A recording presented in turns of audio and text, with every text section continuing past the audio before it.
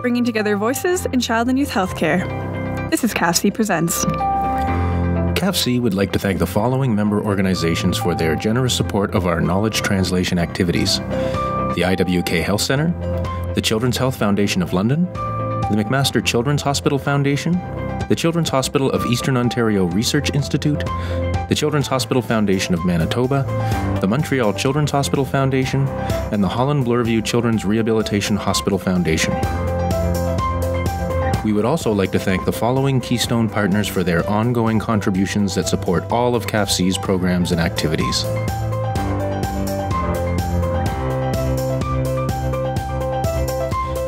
We would also like to thank Prolacta Bioscience for supporting our webinar program. Prolacta is a life sciences company dedicated to improving quality of life by advancing the science of human milk and providing specialty formulations made exclusively from human milk for the nutritional needs of premature infants in the NICU. Prolacta has been a supporter of the CAFC conference for the last couple of years, and we look forward to welcoming them and their colleagues back to the 2015 CAFC annual conference in Quebec City, where they'll be hosting a lunch session on the importance of human milk for premature infants in the NICU.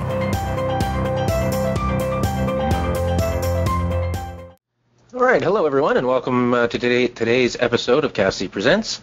My name is Doug Maynard, and I'm the Associate Director at CAFC, the Canadian Association of Pediatric Health Centres. Today's webinar is titled Physical Disabilities and Obesity in Children, Clinical Dilemmas and Research Priorities. And today's topic is one of many that has come to us from CAFC's network of members that are interested in uh, children issues uh, uh, focused on children with disabilities and the and the delivery of uh, rehabilitation services. And that network is known as CINSR, the Canadian Network of Child and Youth Rehab. And joining me today as my co-host, uh, I always like to have her on these rehab-focused topics, is uh, uh, the chair of uh, CINSR's Research and KT Committee, Dr. Gail Andrew from the Glenrose Rehabilitation Hospital in Edmonton. So uh, welcome and thanks for joining me, Gail. But before we uh, get started, uh, we've just got our usual things to get out of the way. Uh, as always, we take your questions at various times throughout the webinar. So I encourage you to type your questions into the question box as you think of them, so that we don't, so that we have the questions ready when it's time to present them to our panel. Don't feel you need to wait until we ask for questions. Just get them to us so we have them ready. Uh, you are free to come and go uh, out of the session. This does not interrupt the session, and we do record the entire webinar, so you can always go back to the recording and catch up on any parts that you might have missed. The recording and any other resources uh, and documents provided to us by our presenters will be posted on the Knowledge Exchange Network. It usually takes us a couple of days to get that information up, and you'll receive an automated message from the system with a direct link to the page, although you can always use the search function on the KEN to find that information as well.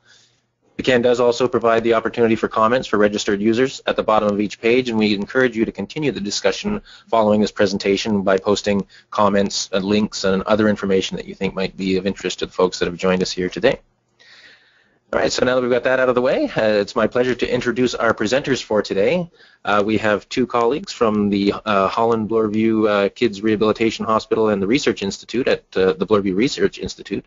Uh, we have Dr. Amy McPherson, who's a scientist at the Bloorview Research Institute and, and, the Holland Bloorview Kids Rehabilitation Hospital, where she leads the Profile Lab, aiming to promote fitness and healthy lifestyles for everyone.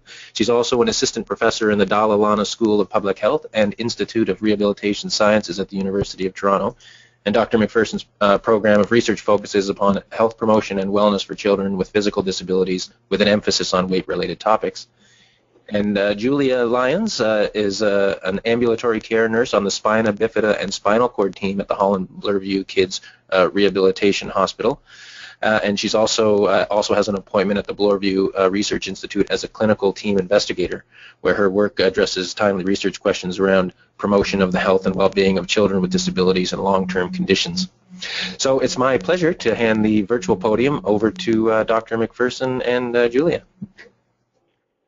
Okay, so um, just a quick disclosure of the support we've received for the work we're going to talk about today, our own work. Um, and that's when we have uh, support from CIHR, Holland Bloorview, Kids Rehabilitation Hospital, Spina Bifida and Hydrocephalus Association of Canada. And you'll see we talk a lot about spina bifida and we'll say why that's important. Um, so just to quickly recap on the learning objectives that were advertised previously. So we know obesity that you know is a, a substantial issue with all kids. So today we're going to talk about how what are the specific issues when we're looking at kids with um, physical disabilities. Um, also going to look at kind of some of our clinical practice and our research where our inclusion of kids with disabilities can be improved. Um, and also to kind of identify some of the areas um, of research priorities that we need to um, attend to. And as I said, I'm very happy to, uh, if you have any questions along the way, please just, um, just type them in uh, and we'll pause as we go through as well. So just first of all, just so we know um, who, who's on the line and listening, uh, I think they have set, set up uh, multiple choice questions. So if you could just quickly tell us what your main role is. Yep, so just go up and uh, click on the screen and make your choice, and we'll uh, tally the results and flip them back. And if you are someone out there who is choosing the other category, feel free to type uh, what that other is in the question box, and it'll give us a sense of uh, a little bit better sense of who's out there. So some of the others that are out there are dietitians, uh, child life specialists, etc. So uh, for the results, we got most of the people are in that other category. Um, we've got an exercise therapist from Stomp at Sick Kids, uh, more child life specialists. Uh, but 39% identify themselves as clinicians, 4% uh, as researchers, 4% as clinical managers, and 4% as uh, trainees. Oh, okay, great. So a great broad crowd. Sorry, my screen keeps flashing to. Is it still? Can you still see my screen? Yeah, we can. Yep. Oh, okay. Okay, so let's uh, let's dive right in then. So we know that the prevalence of obesity in, in Canadian children generally is, um, you know, quite high. So it's around 26 to 30 percent uh, of of children aged 2 to 17. But um, what is really interesting is that the prevalence of obesity amongst children and adolescents with disabilities uh, is actually substantially higher in some in some cases. So we can see, uh, this is US data, um, so we can, we can see um, that uh, the, the, green bars are no disability and the blue bars uh, are those with a disability. Um, and we can see there by gender, so physical limitations, physical disabilities, and learning disabilities. But today we're going to focus mostly on physical disabilities whilst recognizing that many kids with physical disabilities also have some form of developmental uh, issues or intellectual disability as well, but we're primarily looking at kids with physical disabilities. And you can see from the NHANES data, which is the US data, that um, there is a marked um, uh, difference, significantly uh, statistical significant difference between the kids with and without disabilities, um, around female and, and all uh, kids as well. So uh, in the literature, it describes uh, kids with disabilities as having a two to three times higher prevalence of obesity, although we'll, we'll talk a little bit about that uh, later on. So um, again, just looking at the CDC um, statistics that they've um, released, and the, the website's on the bottom, um, we can see that um, there again is um, a very significant, looking at all kids with disabilities, there's a significant difference there uh, in, in the percentage of those who are uh, overweight or obese. Um, so, and I think probably most people who are on the line are, are decided to do so because um, they realize, you know, they've encountered some issues with that or that they're aware um, of uh, that there is a, this disparity. So um, a series of work in sort of late 1990s and 2000 has um, shown that children with disabilities tend to eat less fresh produce, more high-fat and fast food, uh, as well as more uh, chocolate, higher chocolate consumption than typically developing um, peers. They're also less likely to engage in physical activity uh, and more likely to engage in sedentary activities. Uh, so that was uh, in Canada and in, in, Australia, they, they find that. So higher sedentary behaviours, um, consumption of fast food, consumption of chocolates, uh, less fresh food. So we can see this sort of health promotion profile is actually quite different from kids with, uh, who are typically developing. So, we, so it raises some flags for us about different areas that we could potentially uh, sort of explore a bit more and might explain the higher obesity rates. So the, the, the reason it's so important is so the impact of obesity we know on all kids uh, can be substantial. Um, and we, we know there are cardiometabolic uh, implications of uh, childhood obesity. Uh, our concern is that a lot of obese children, uh, or children with obesity, sorry, um, turn into adults, who grow into adulthood, we also living with, with uh, obesity. So, um, you know, we, we are concerned um, with, with, children anyway. With kids with disabilities, uh, it also is this unfortunate sort of vicious cycle where a disability puts them at increased risk of obesity, which it, may, it might exacerbate their already what conditions they have, as well as introduce new conditions such as uh, extreme muscle loss, um, breakdown, skin ulcers, um, additional pain, uh, additional mo mobility limitations, uh, as well as the psychosocial impact around isolation. We know our kids with disabilities are often isolated and socially excluded. Um, and we also know that kids who have obesity are also socially excluded. So again, you've got that sort of two-prong um, effect happening. And then all of this obviously has a um, huge impact on the health of the child, both physically and mentally but it also can um, increase the impact on the primary caregivers, um, parents and caregivers at home, as well as public health kind of care services, and then with the long-term kind of implications around cardiometabolic um, issues as well.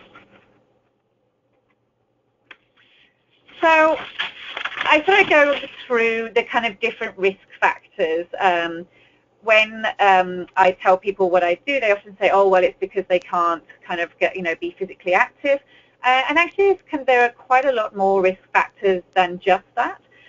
Certainly, physical risk factors and mobility impairments do have, uh, you know, a, an impact. The fact of being able to um, ambulate and be physically active, especially sort of to um, moderate to vigorous activity, can be problematic sometimes or challenging. They may be complications from the condition they have, the disability they have, um, for example, um, incontinence, which might stop them um, wanting to be physically active. Uh, they may already have pain syndromes, again, that might um, put them off. I've got a sort of fatigue. Uh, and then often our kids with, phys with uh, physical disabilities, if they can't be physically active, they are generally not particularly, um, they're physically fit. Balance and coordination may be included. And so that can be a real deterrent to trying to take part in physical activity if you know already that it's going to be challenging. In terms of physiological risk factors, I mean, some uh, disabilities do come with a predisposition to overeat, such as Prader-Willi, um, they are sort of not so common, but what it might be is that the medications that our kids are on, often, um, for example, we talk about Duchenne muscular dystrophy when they go on um, steroids combined with um, a reduced physical activity, that can be um, a great risk factor for overweight and obesity. Um, metabolic irregularities have been suggested to play a role in um, increased body weight in um, some children with disabilities um, may have a, rest, a lower resting energy expenditure, and so it can make that really challenging to achieve or maintain a healthy body weight. Um, so in spina bifida, again, it could have um, a high level of paralysis, and so anything be below the, that lesion um, will often has a reduced requirement for caloric intake, but actually det determining what that is is very, very challenging. Um, also, things like of, so structural impairments. So there are some forms of brown, brain malformations around Chiari-2 um, that are common in spina bifida certainly, but um, have um, there are other conditions. So that can actually affect uh, people's taste and texture, uh, can cause problems with swallowing and gagging. So that can be really limiting around food intake. So the kids may have very specific tastes or textures that they can tolerate but that is often um, bland food, um, white bread, chicken fingers, um, sort of foods that are very easy to eat. Um, so that can greatly affect their food preferences. And, and, also it can have some problems with breathing, which again, combined with uh, mobility impairments, then can result in sedentary lifestyles and, and then that reduced physical fitness.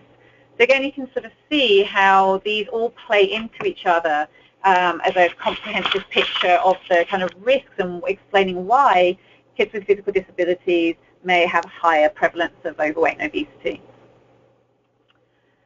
So environmental risk factors, um, we hear, again, the social model of, of disability is that the environment disables people with uh, impairments, and that's often seen in the environmental risk factors. So we always hear the lack of facilities and special equipment required for people with physical disabilities to be physically active. Uh, we have, we're very lucky in Ontario to have a, a, couple of those now, and the Ability Centre in Whitby is a great example, but they're very few and far between. And even if the facilities or the equipment is there, often there's a real lack of um, trained sports and fitness staff, a lack of confidence, a lack of knowledge about how to work with someone who has a physical uh, disability. And of course, all of this costs money. And we know that um, families with a child with a disability do generally have a lower income and have economic pressures on them, which make, may make access very challenging.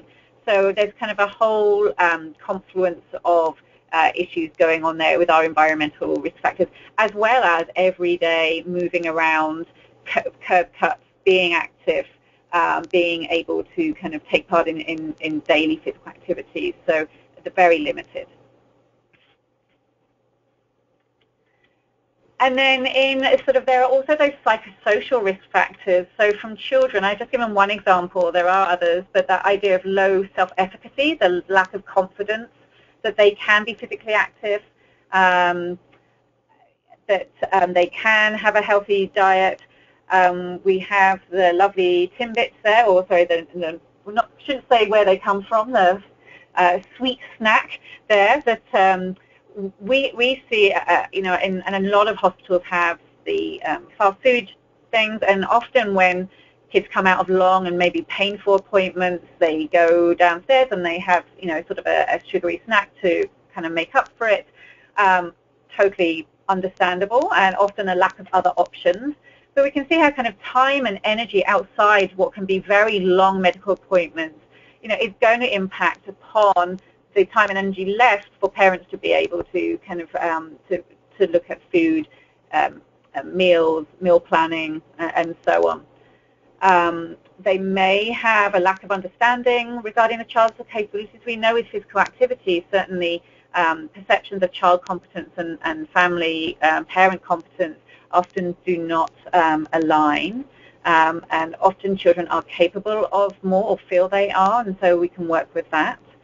Um, and then the food, so just what I was talking about, you know, um, upset child, child who's been in pain, there's a, a, food pacification. We see that in typically developing kids all the time. So it's not surprising, it's very understandable, but that, that plays um, a part. And then the kind of differing priorities, as I was saying, you know, parents trying to get through the day, trying to deal with other siblings, as well as um, children, um, and really kind of the different impacts and the different burdens that are, are, are on parents that we have to recognize and understand. So um, I mentioned spina bifida, and as an example of how those things can all come together, those risk factors, so um, many of our kids with spina bifida ha do have mobility restrictions. Um, they do often have the altered eating practices um, due to perhaps a Chiari 2 malformation um, and continence as well. So um, we'll talk in a bit, but a lot of kids with uh, spina bifida do have continence issues. And so maybe eating or designing their diet around trying to reduce accidents um, or having to go to the washroom a lot during school uh, rather than thinking about have I got all four food groups and uh, you know how am I designing my my meals for optimum kind of Canada's food guide um, kind of thing. So um, that does have an impact. Uh, the limited access to activity settings. Um, there may be some cognitive impairment all the time, but then that may play a part. And we have seen in research that kids with spina bifida do have greater sedentary behaviors, lower fitness, obesity and uh, cardiovascular um, risk. But they are by no means the only population at, at risk. Other vulnerable populations in the literature around um, Duchenne muscular dystrophy, who often, as I mentioned, can gain considerable weight um, at a certain point when they have a combination of the medication and the steroids and the reduced um, energy expenditure. And actually, some research has shown that the prevalence of obesity in boys with uh, Duchenne muscular dystrophy is, up to around 73% by 13 years um, of age. So, a, you know, a significant issue there. Cerebral palsy, there has been some work um, around that, um, as well as uh, James Rimmer has done a lot of work around developmental disabilities and autism. So, I mean, there, there are many populations within our disability sphere that are um, at risk. So we were interested to find out from the people on the line um, which of your client populations that you work with and see do you think um, these weight-related issues are particularly relevant for any kind of high-risk groups that would be in, that would be useful to us. So if you want to vote, that would be helpful. Over to you, Doug. Yeah, so once again, just go up and click on the screen to make your choice. Which of the client populations you, you see do you think weight-related issues are most relevant for? And once again, if you do click the other, feel free to type something into the uh, question box just to let us know what that other is. But the, the choices we've listed there, cerebral palsy, spina bifida, muscular dystrophy, and acquired brain injury.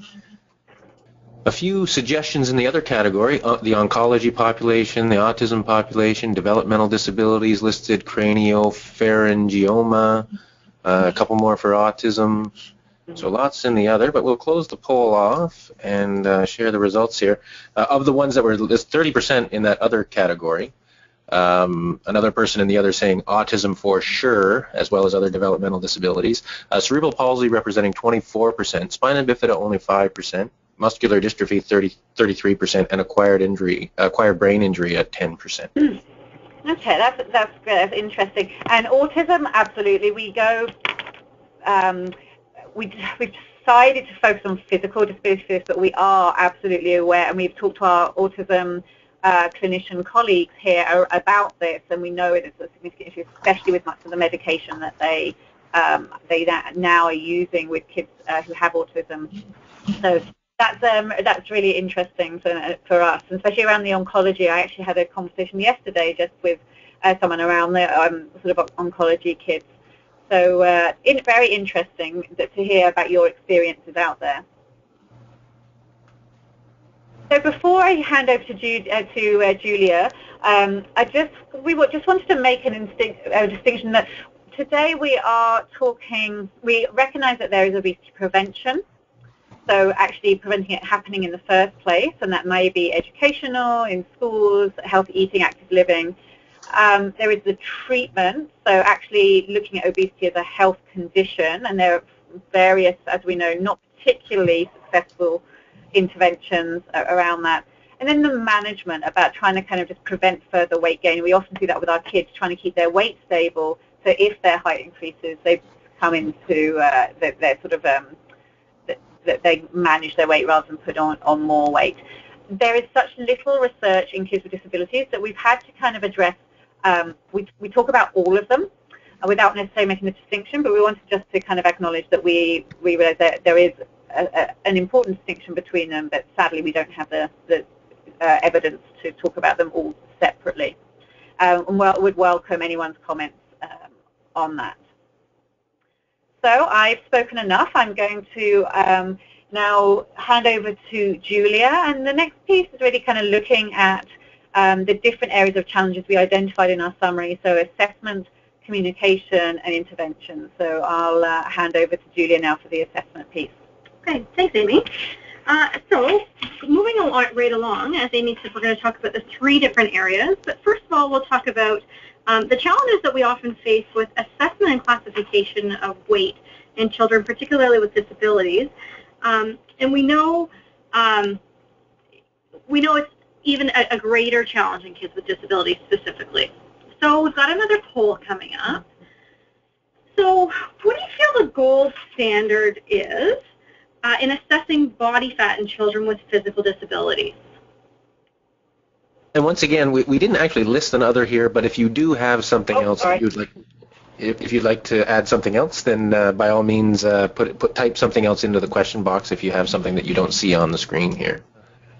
Close this off and share the results. It looks like uh, the majority at 47% say BMI is the gold standard, uh, followed by height to waist ratio, uh, followed then by bioelectric impedance analysis at 16%, skin fold thickness at 11%, and 0% uh, saying waist circumference. Okay. Oh, oh. So then to follow that up, if that's our gold standard, how many of us uh, actually are able to practice our gold standards? So what do you or the clinicians in your institution use most frequently? We know in an ideal world we'd all be doing the gold standard all the time, but it's not always the, the most realistic. all right, so same choices again. Uh, but just which what do you uh, use most frequently? As as Julia said, no, we don't have don't always have the option to use the gold standard. So what do you use most frequently? And again, if there is something else uh, that's not listed on uh, on our list here, please feel free to type it into the question box.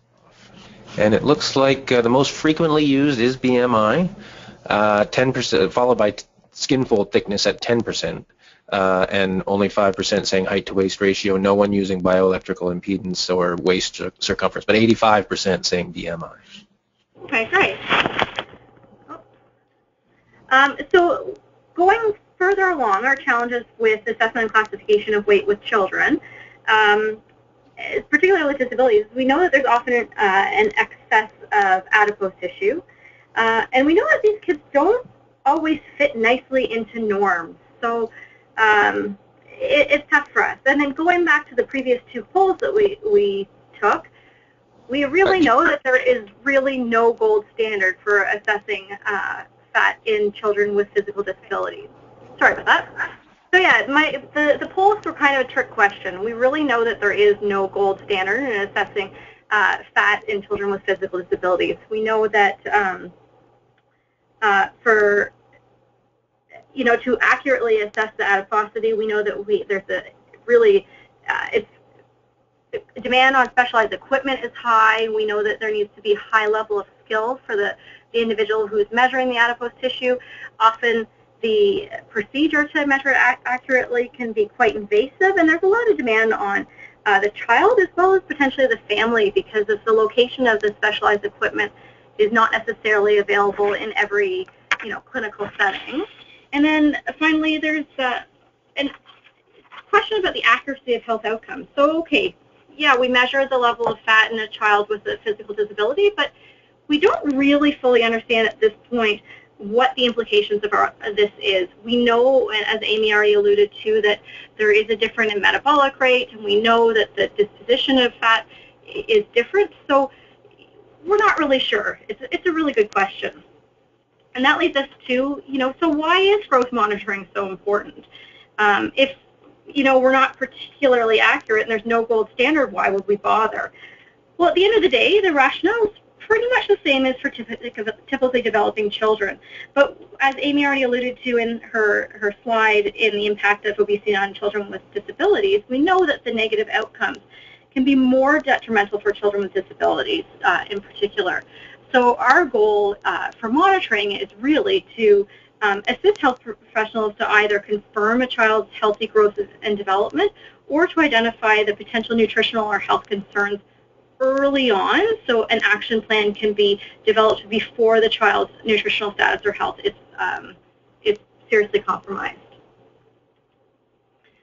So in assessing uh, weight and height, some of the typical methods that are used are a standing scale, a chair scale, standing height, recumbent height, and even segmental height. And, you know, that's all well and good, but if it goes back to children with physical disabilities, that's often tough for some of our kids. So as a proxy method, we do use things such as arm spans, upper arm length, tibial length, knee height, and uh, using the ulna, the, the length of the ulna to estimate height. Um, and just keep these in the back of your mind as we go through some of our, our more data, data later on.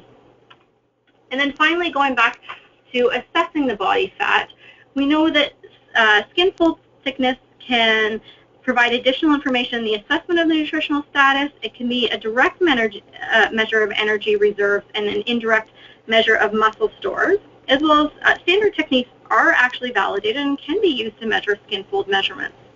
And then finally, going back to, I know uh, a lot of people are using waist circumference as well. We know that it captures the amount of fat located centrally in the body, which um, can definitely be de detrimental to the cardiometabolic health of everyone, not only children. Um, and we know that BMI doesn't really distinguish between, distinguish between fat and non-fat weight or indicate where the fat is, is located.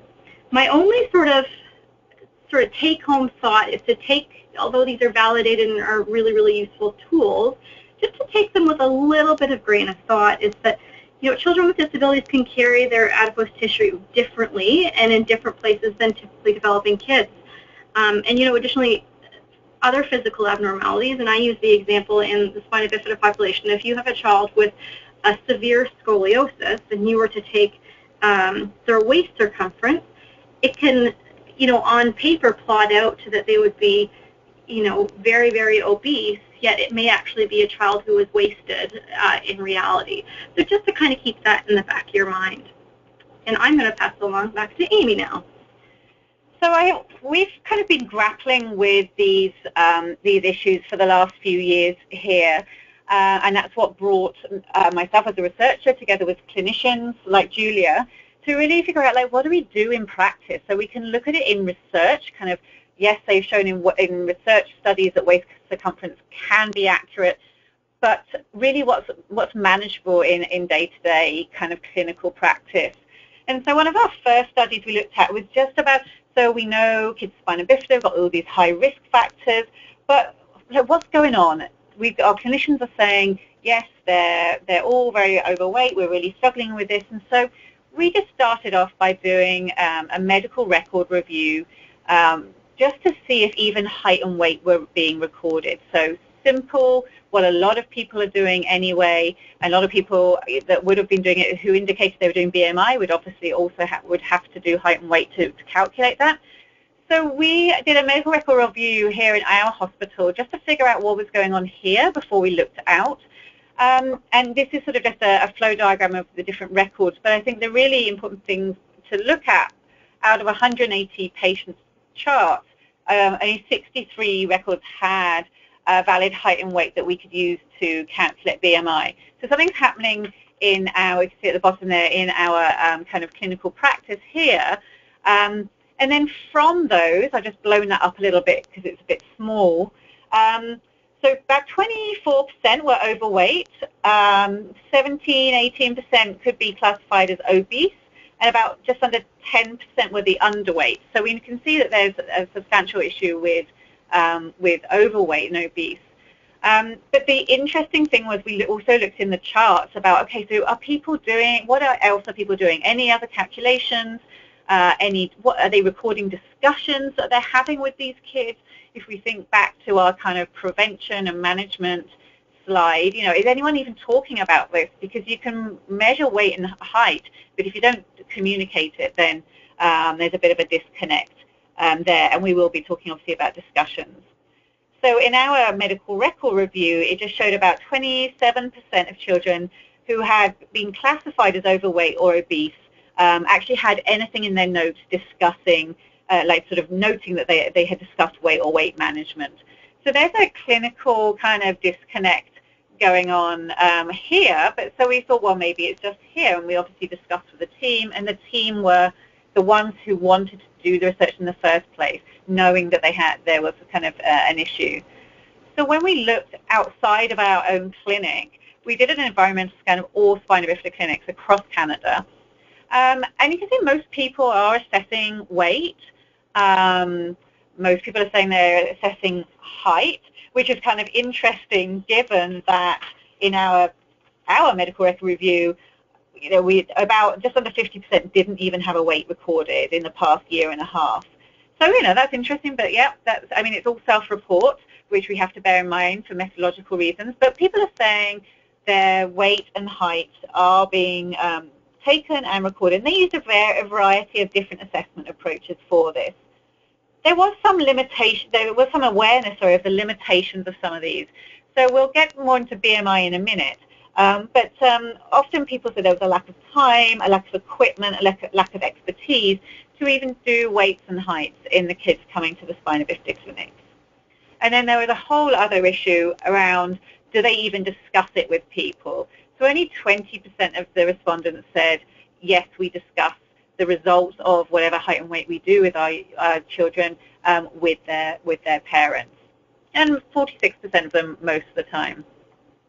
Now, the very low um, numbers are whether they were referred to specialist weight management programs. And we know this is a substantial lack uh, in services um, and research, and we will go into that uh, in a bit more detail. But we can see really that there are very, people are struggling with referral options for children with physical disabilities, in this case spina bifida, but I don't think it's different across any other disabilities, of those sort of referral options. What do you do once you actually identify there's an issue? Uh, and this is something we're really interested in and don't have the answers to, um, but I'm, I, you know, be interested if people want to say what their experiences are um, about trying to refer on. So this is the interesting piece for us. We uh, went on to do, because uh, there are a few, there are some prevalences of, of kids with disabilities there, obesity and overweight in the literature, but certainly eh, for conditions such as spina bifida, a lot of them were done over 15 years ago. Um, they were maybe done retrospectively. Um, you know, they weren't using optimal methodology. Uh, and given that we know the prevalence of overweight and obesity in typically developing kids has increased in the last few years, you know, it's not a giant leap to, to wonder whether this has also happened um, since those original prevalence studies. So we did a prospective study. Um, we measured a, a, huge amount of things around um, anthropometrics and lifestyle behaviors, but I'm just going to talk about height and weight. Um, and look at how we're classifying our kids. So from uh, we had 72 kids that took part, and the interesting thing was they were all really keen to take part. I, to this day, I'm not sure exactly why we saw this, um, but people, the youth and the parents were really, really keen to take part in this study, and they were weighed and measured in a number of different ways, including skin fold thickness, waist circumference, um, and weights, and different ways of proxies for height. Um, and from this, we can see about 44% of our kids were overweight or obese. That's using the World Health Organization growth charts for Canada, and there's now a 20, uh, 2014 version online, um, and um, that website is available. So that was really interesting. Um, out of, most of them had myelomeningocele, most of them were ambulatory, um, and we had very high inter-rater reliability. We made sure that we were getting it absolutely accurate um, with two or more um, observers to make sure. So you can see 44%, that's substantially higher than the 26 to 30% in typically developing kids. Uh, and gives us a better picture because our medical record review, that was only kids who had had a height and weight measured. And it could be that the reason they had it measured was because it was a suspicion of it being overweight. So this gave us a much more unbiased sample and we took everybody. So what's really interesting though is that we used the different forms of height to calculate the BMI of the child. So if possible, we like to get height either standing or recumbent or even segmental methods if the child has severe contractures. So using the different um, sort of from toe to head, uh, measuring each, each section. Um, arm span has been suggested as a proxy for height as well as ulnar length. Um, and there are, there are um, uh, equations that you can use for this to calculate BMI. Now, if you look at using standard and recumbent height, as I said in the previous slide, 44% of our kids were overweight or obese. Now, that drops to 40% if you use an arm span to calculate the BMI, and then drops to 25% if you use an ulnar length. So it really matters what type of measures you take and calculate this. And this is why it's so challenging for us um, to, to calculate kind of um, uh, even a proxy of body mass or fat mass such as um, BMI. So we could be having, um, you know, grossly underestimating or, or overestimating. We just don't know at the moment. So I think that, that needs substantial more research in it um, to figure out what's going on with those calculations. And of course, those are using, you know, sort of standardized calculations. Okay.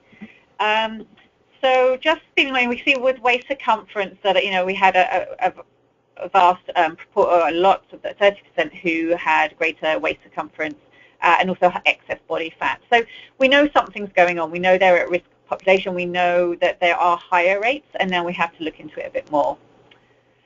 So just um, just to take the take-home messages from this sort of section around assessment is that we have no gold standard.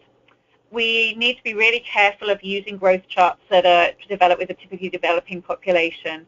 And our, our main message about tracking over time is the critical piece. So not one-off and classify them on that one-off um, one-off measurement, but to track over time, look for trends and patterns. Compare the child with themselves previously rather than with other children uh, and with norms. Um, and really there is a, a, real need to develop some condition-specific growth charts in order to kind of provide uh, more optimal clinical care around kind of um, weight and activity and diet and so on. So I did mention that um, you can measure all you like, um, but if you don't communicate it, then that can be, you know, a, a, an issue.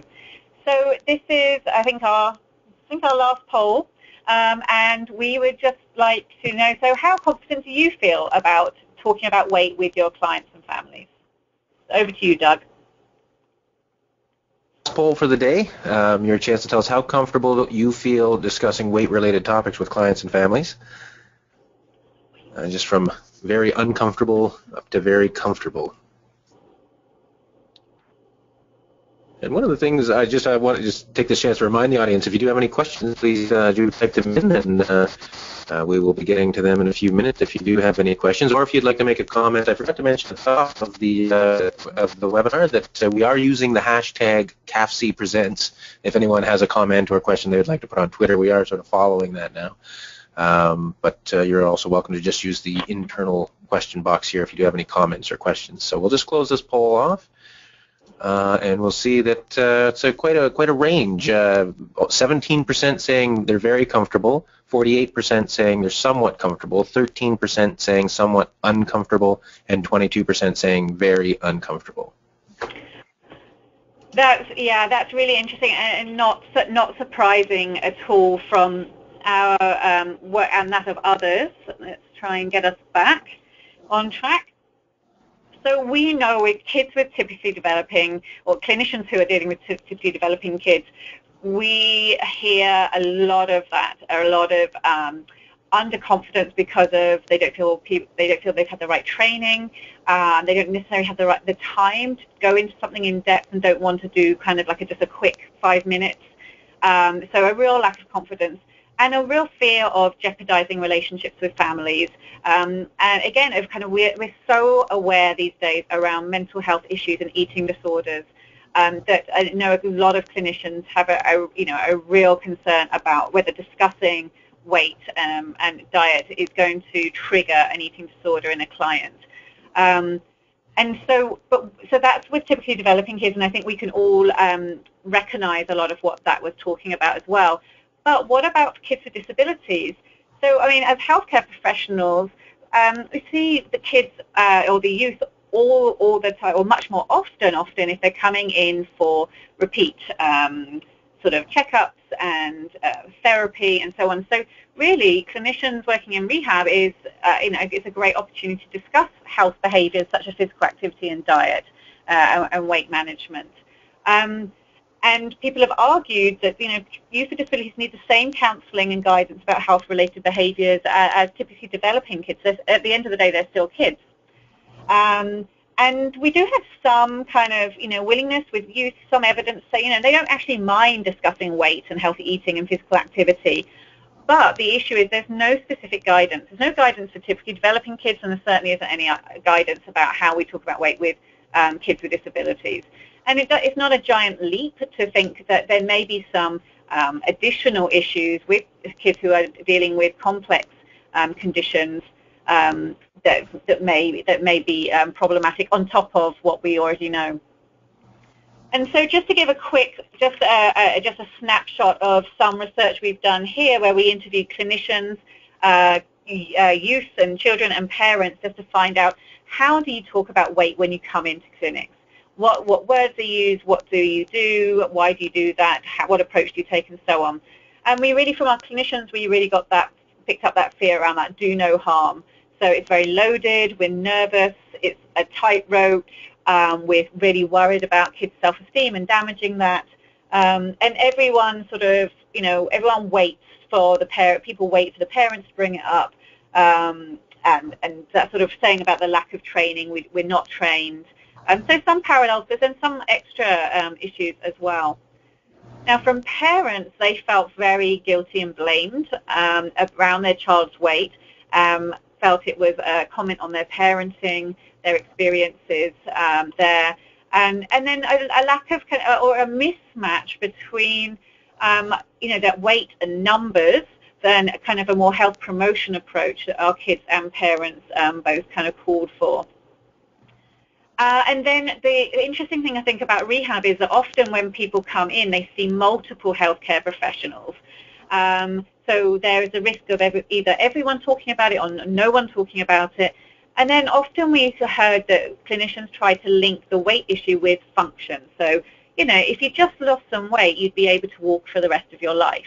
That was actually one of our quotes. Uh, and, and that can often be off-putting, as we can see with our kids here saying, you know, yeah, yeah, I have to lose weight to keep walking, yeah, yeah, you know, and it just wasn't going in after that. So although clinicians may feel that was a good way to hook kids in, it didn't necessarily work. And then we have some kind of um, different approaches and that idea of like uh, time in clinic. Often, our, you know, kids come in and time is really precious uh, and pressured on, we've got to look at bowel and bladder, we've got to look at school, we've got to look at range of motion, pain, uh, and often kind of diet and activity are, don't feature into in hard-pressed kind of clinical situations. So we can see we've got very common concerns, training time, confidence, jeopardizing relationships, um, and then we have the kind of, there are multiple priorities going on. Um, some kids we say, you know, well, of course I'm overweight, I've got, a, I've got spina bifida, um, when you've got multiple healthcare professionals, there's an issue around role clarity. Again, I mentioned earlier about families are dealing with a huge amount, uh, may not be able to take this on as well, or fear of that from clinicians. So um, just to sort of really flag that, you know, these are um, these are serious uh, or, or differences we have to think about when we're working with kids with physical disabilities. And we have tried to encapsulate that into um, some simulation um, training videos for healthcare professionals who are qualified. So often our simulations are for trainees. Uh, we've done these for qualified healthcare professionals, um, show different situations about kind of, uh, we've built them around um, the uh, four uh, child and family-centered care tenets that we use at Holland Bloorview. So respect and dignity, collaboration, so you know involving parents using their expertise, that partnership, helping parents come up with solutions themselves, and how we can um, effectively share information. I think in the interest of time, we may just move on rather than try to show the video, but if anyone's interested, uh, we, we, have four different ones. They are very welcome to uh, contact me and we can, um, we can figure that out. So they're just literally hot off the press. We finished them uh, two weeks ago and we will be evaluating them to see can we increase people's confidence and also their competence. So the two have to come together. So I think our take-home messages from this portion around communication, what we're hearing from kids and and families is that they really want a strengths-based approach. So one of our kids says, you know, stop telling me what I can't do, focus on what I can do. They're getting, you know, like they spend a lot of time being told what they, they can't do appropriately or properly. Um, so taking the strengths-based approach, what's their ability, what's their interest, and how can we kind of foster that and use that for sort of a, a positive outcomes. And this is kind of around the solution-focused coaching we're looking at about how we can use that to try and, and play to the child's strengths and the family strengths for, for um, positive outcomes and outcomes that they themselves have identified that are meaningful for them. Um, very much around acknowledging challenges. Weight management is challenging for very many of us as well as a lot of children, and then especially children with physical disabilities.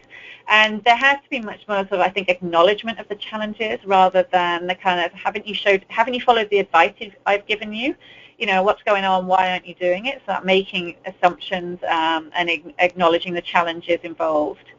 There's good team coordination, uh, communication, that's a, a given, but something we need to attend to when we know we have these large, often I have these large teams where things can either fall through the net or everyone's talking about them and in both cases is not optimal. Identifying, identifying the priorities of, of everyone at that um, consultation or at that clinic visit, everyone comes in with their own agendas, their own priorities, and kind of trying to figure out how they all fit together. Um, so, and then empowering children and families to indicate their preferences. Like, I don't want to talk about this with you. I would prefer to talk about it with X person or whatever, but that takes some active sort of fostering and, and facilitating. But often we, we see our kids for over a long period of time, we have the opportunity to develop relationships. That's why they're so, we're so worried about damaging them by talking about uh, weight. But we need to work more with our children and families to really express what their preferences are. Otherwise, everyone sits around waiting for everyone else to bring it up, uh, and then we don't get um, we don't get anywhere. So um, does anyone have any uh, comments, questions, uh, anything they want to say? I mean, I, I think it's a, an issue close to a lot of people's hearts in clinical practice. So if anyone has anything they would like to contribute to that, talking about weight, that's uh, I'd be really interested. We would be really interested to to hear your uh, ideas and thoughts. So we'll carry on, but please do feel free to make any comments or questions. So what do we do about all of this? Um, one of one of the issues that sometimes we hear puts off clinicians identifying a weight issue and addressing it and talking about it is that they can't do anything about it. And certainly with the families that we speak to, um, there is that frustration when a clinician has raised it as a problem um, and then can't offer any solutions or anything that they can do, and it can lead to real kind of helplessness um, especially when clinicians have raised it as sort of have really problematized it. Um, so it's, it's gone beyond, hey, this is your BMI and these are things, some things you want to think about to this is a big issue and it's sort of a medical um, problem, but then can't follow, can't follow up. And the reason is we actually don't have too much to offer at the moment. This is our frustration. Uh, we don't have too much evidence base, I should say. So there are guidelines out there. So very recently, actually, just a few weeks ago, a couple of months ago, um, there was a position paper that came out uh, for individuals with all disabilities. But when you read it, um, although, yeah, kids with spina bifida are in there, kids with um, DMD are in there, um, actually a lot of it really focuses on the intellectual disability um, population which are a very vulnerable population as well, but it doesn't get it doesn't help us much with um, the kind of best practices around um, working with nutrition, dietetics with physical disabilities. There have been guidelines around um, adapting or making um, physical activity, nutrition and obesity programs more inclusive of kids with physical disabilities, of people with physical disabilities. But again, kids don't actually feature that highly in it and we know that the sort of physical activities they're going to be taking part in um, are maybe very different to the sort of context and types and, and characteristics of the physical activity that um, adults take part in. And then I don't know how many people are, are linked into uh, the Canadian Obesity Network. They have a great resource with the five A's of obesity management. They now have they had started with one for adults. They now have one for children and for women who are pregnant. Uh, and they're bringing out kind of different um, tweaked versions for different people. Again, kids with disabilities aren't really featured in there at all beyond have an accessible um, scale to where your kid's on because, you know, some of our kids we do have that issue with. Um, so can offer some useful guidance, but it's not specific to disability. So these are the kind of issues that we're dealing with that the guidance just isn't out there. So in terms of like, okay, so what does the research say? Has the, research looked at it? And actually we see that children with disabilities are actually excluded routinely from health promotion, obesity prevention, physical activity type um, studies. Um, and there was a, a, widely cited systematic review, very rigorously done uh, a few years ago through the Cochrane collaboration, so a high quality systematic review. Um, and they had they included 55 studies in it, and we actually checked, traced down 54 of them. That last one eluded us, um, but from 54 of their 55 studies, less than 10% of those studies actually provided an inclusion or exclusion criteria that a child with an illness or disability or chronic condition could potentially have met. So less than 10%. And nearly a quarter of them explicitly excluded children who had any form of kind of condition, illness, impairment. So kids with disabilities are being routinely excluded from this kind of research. Uh, and in fact, the rest of the studies actually didn't include um, they didn't provide inclusion exclusion criteria because they were kind of done at school level. Um, so we, we just don't, we're, their kids aren't even making it into the research studies to be able to provide evidence-based guidance. And so just to kind of, um, so just to flash up, we tried to do, we tried to replicate um, their systematic review for um, kids with disabilities, and we got, we just found that the information wasn't there the data isn't there and the evidence isn't there. So we did a scoping review, which is somewhat broader and includes all forms of, um, of evidence, um, no matter the quality, kind of uh, the traditional quality assessment criteria is not is, is used differently. Um, and we see most of them around physical fitness, a little around nutritional status, um, very little around kind of the healthy weight, health promotion, healthy lifestyles that we personally try to advocate here. Um, and the only we looked at any study that was actually had a positive outcome. They re, they reported a you know significant change. All were around physical activity, and there are some kind of indications there. So the child should be self-directing it, so they're choosing their own um, their, their own goals. Um, motivational strategies, so they might have motivational text messages, or um, they might have a coach who keeps them motivated. Uh, and that the child is the target of the intervention. So they, they, they are the one that the intervention is given to, but they may not have come up with their own goals. So, I mean, we have some kind of glimpses of what may be helpful, um, but we certainly wouldn't go as far to say that there is, an, at the moment, a robust evidence base for this. So, yeah, what to do? we're going to look at our take-home messages and then some kind of indications for what we call we're going to call best practices for now, but we don't practice we don't pretend they are um, robustly supported by evidence. But Julia's going to run through them, kind of where we think the positive approaches are, and that we think should uh, be sort of moving forward, where we should putting up our energies. But again, going through them, we'd love other people's um, opinions and thoughts on this. So back to Julia to to finish off. Great, thanks, Amy. So, you know, we've spoken, as Amy said, a lot about the challenges, a lot about the research gaps, but there are, in fact, some promising approaches that we know or we, we have a very strong suspicion uh, or anecdotally we know that are, are working for, um, that do work for when you're working with children with disabilities and their families. So first off, we know that when you focus on what the child can do and you tailor your recommendations on that, um, while including the child and the family and their interests in the recommendations, that that's when the most success is achieved. And I mean, I say, um, you know, it's recommendations, recommendations, recommendations, but it really should be not a prescriptive uh, approach. It really should be working with families um, that can focus on what they can do and, you know, what what they really want to do. Um, we know that kids do better when they're included. So if as health professionals, as you know, teachers, as people in the community, if we can advocate for the activities that they're doing to be inclusive and allow them to be just regular kids and be with their peers, then you know, off on their own doing something separate, it, it's more fun that way. Um, our, our kids that are more successful are the ones that are, you know, playing basketball with their classmates rather than told that they have to do laps around the gym because, you know, how could they ever play basketball with the rest of the kids in their class? But, you know, a really creative, um, a really creative partnership with, you know, school school programs can, can really foster that and really help kids be successful. I think I'm just going to jump in, Julia, just that uh, it's about maybe not making assumptions. So making things are inclusive if children with disabilities want to take part.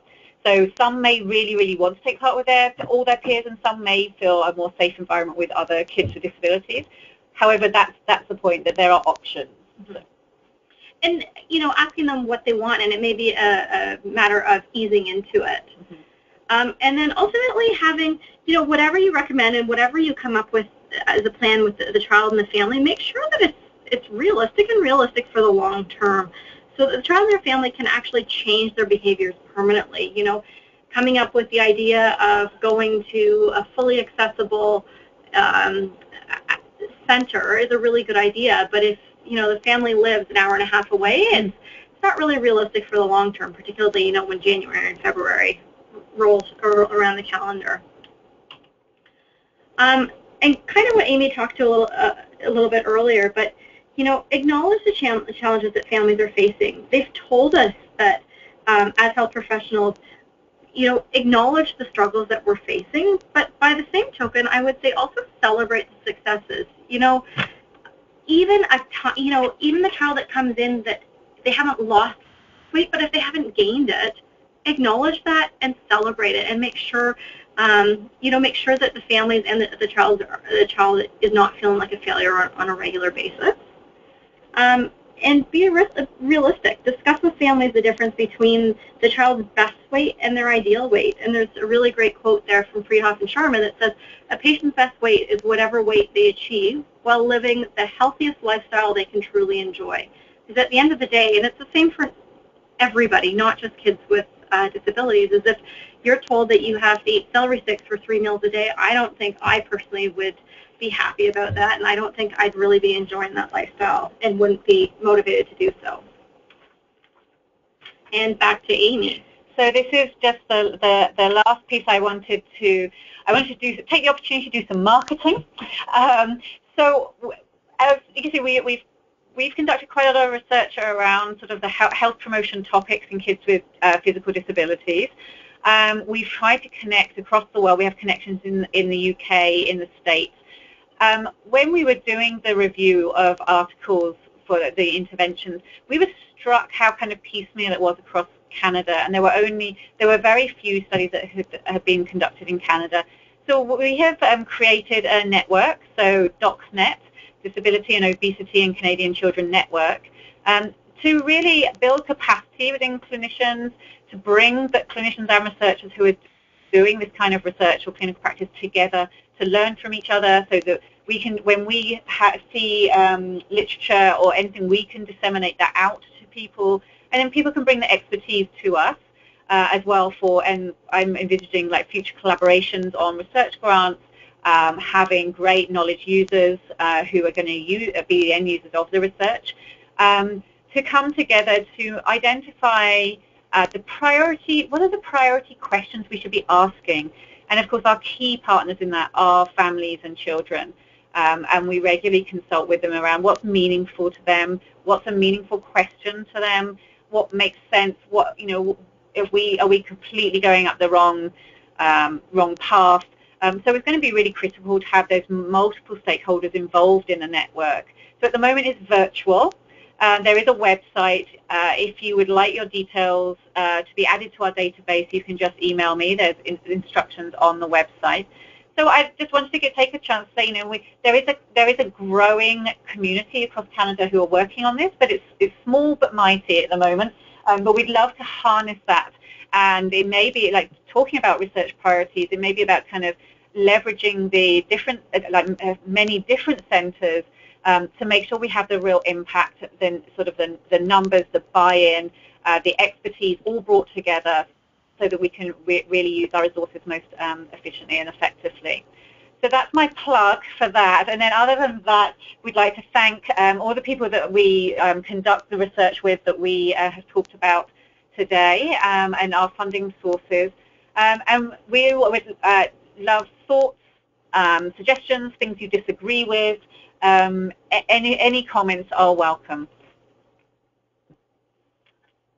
All right, thank you very much. And while we're waiting for anyone uh, to type in any questions or comments based on all the great stuff we've just heard, uh, I'll, I'll, maybe uh, ask uh, Dr. Andrew if uh, if you have any comments or any any any, any thoughts to share uh, based on the presentation. Oh, thanks, Doug and Amy. That was a fantastic presentation. it aligns so perfectly with one of our goals through CINSR, the Canadian Network of Child Youth Rehabilitation, and that's to improve the outcome of, of children and families with disabilities based on uh, research evidence. But I think most important is just get, translating this research and the information into practice. And the, the practice not just for clinicians, but involving families and translating this information to families so that we can empower families to raise the questions with their clinicians. I'm, I'm really excited about looking at the, like the tools because I think that's what a lot of uh, both primary healthcare providers as well as uh, clinicians such as myself who work within a rehabilitation setting. If we had the tools, if we felt more comfortable, and if we can gain that kind of skill with your the training videos, uh, I think to have them more widely get them out there so that we, they can be used. So I think this research that you've been doing gives us a, a lot uh, of, of things that we can actually put into practice.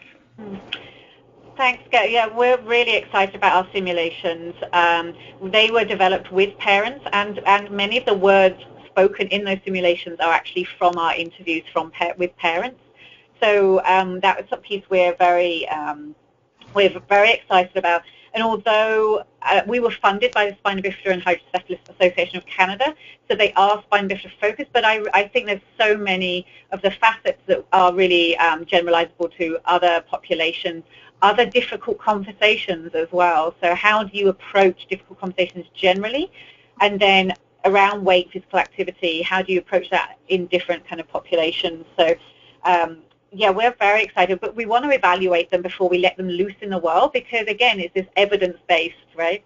So um, we would be very open to any partners that wanted to join with us um, to help evaluate them and making sure we're putting out the best possible evidence and we translate it in the sort of with the with the biggest reach to our clinicians and families. And maybe some of the members of our CINSR organization, because we do have quite broad representation of some of the major rehabilitation centers uh, across Canada. We could engage in, in that type of partnership. Uh, we would love that. We would be very much welcome that. Thanks for your comment. And anyone who's interested in connecting uh, with Dr. McPherson on this, uh, just either if you have her contact information directly, I'm sure she wouldn't mind being contacted, but if you don't have it, just feel free to contact us at CAFC here and we can certainly put you in touch. That would be great. Thanks, Doug. So we don't have any comments from the audience. They're a little quiet today for some reason. Um, them into silence. Yeah, yeah. Um, so we'll give everyone just another uh, few seconds to type something in, and uh, and maybe we'll uh, we'll uh, wrap it up a little bit early today if we don't have any questions. and Doug, maybe asking our audience members with, within the subject of obesity and uh, within the disability population, are there other aspects of this discussion that mm-hmm. organize future webinars to highlight different different parts of this. Although I think Amy and Julie have done such a, a really good summary of the basic data right up to this. I think we're just on the cliff of this exciting research. Mm-hmm. Doug, Doug, it's Elaine. Can you hear me? Yes, I can. Yeah, just a quick question. Uh, first of all, um, thank you so much, uh, Julie and Amy, for a fantastic presentation, as Gail has said. I'm just wondering the tools um, that um, that have been in part the results of your research, and, and these are so important. I may have missed this, and apologies if I did.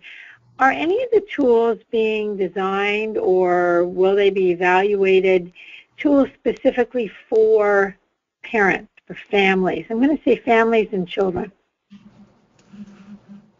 Are you referring to kind of guidelines, or what sort of tools were you um, thinking? The, the guidelines, yes, but but where you're giving where you're giving these to families to sort of take the lead on.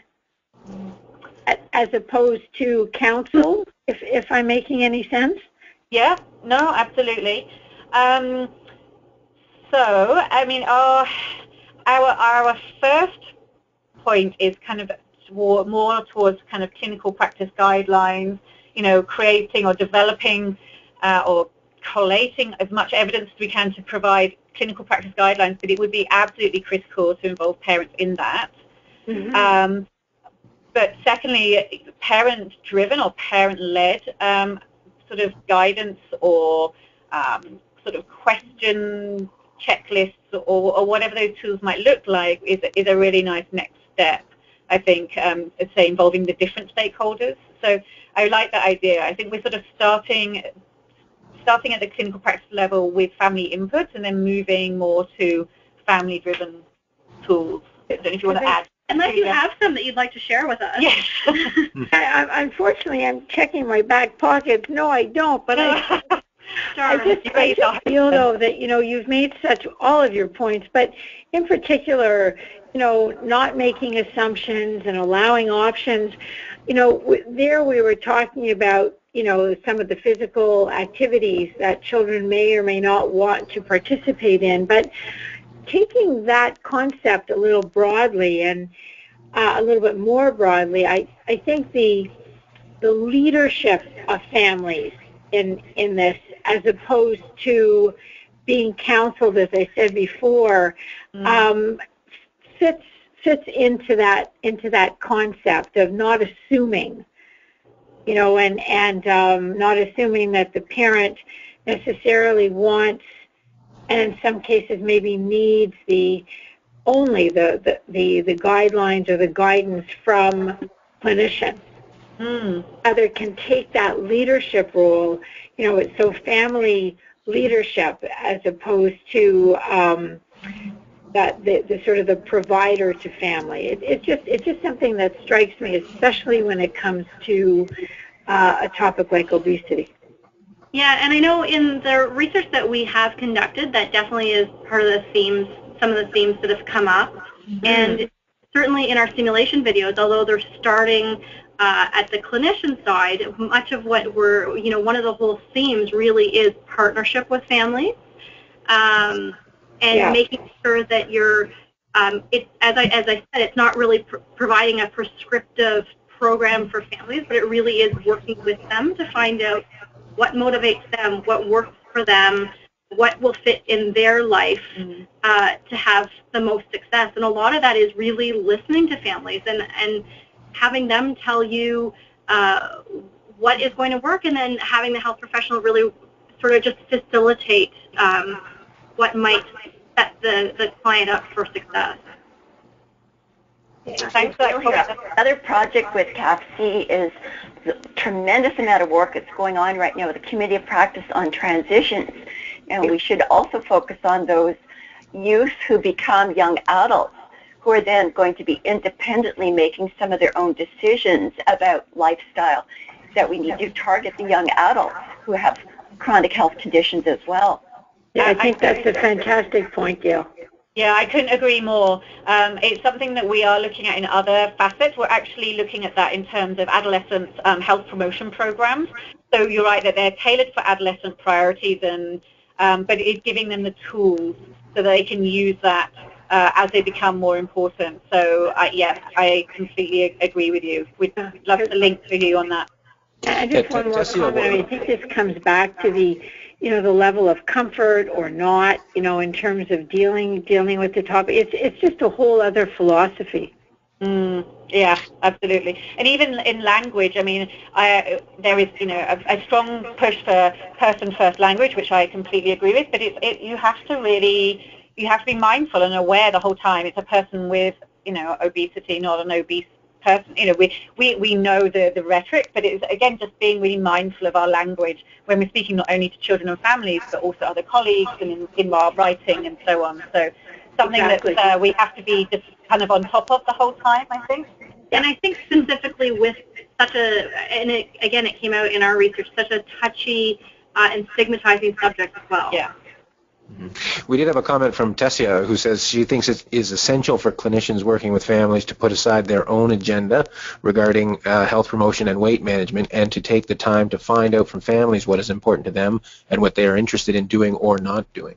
Yeah, I, I, I, I couldn't agree more. Yeah. Yeah, we're, we're nodding vigorously at this end. All right. Well, that's uh, a great conversation. Uh, thanks, uh, Gail and Elaine, for uh, for uh, spurring that uh, that interesting conversation. So I, I don't see any more questions from from the audience. So if there's any closing comments that Dr. McPherson and Julia would like to to sort of wrap up with, we'd love to hear just some closing comments from you.